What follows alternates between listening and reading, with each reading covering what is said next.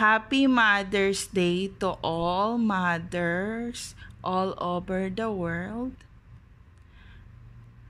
So, ginawa ko ang bidyong to dahil Mother's Day ngayon. So, gumawa ako ng video um, about sa Mother's Day.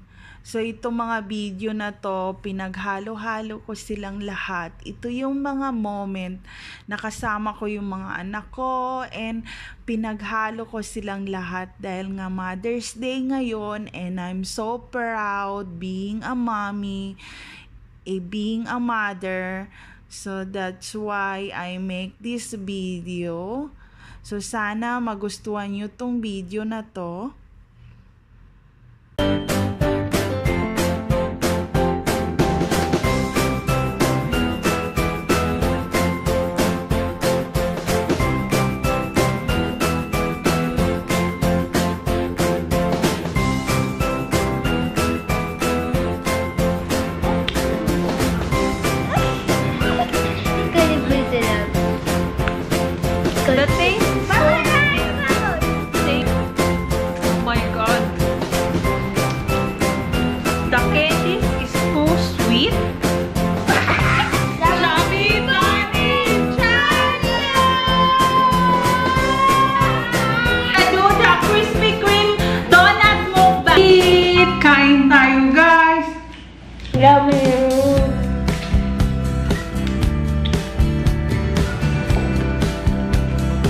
This is the sugar glaze as you can see guys.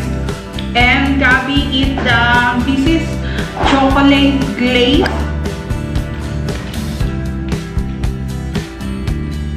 The donut is so soft as you can see guys.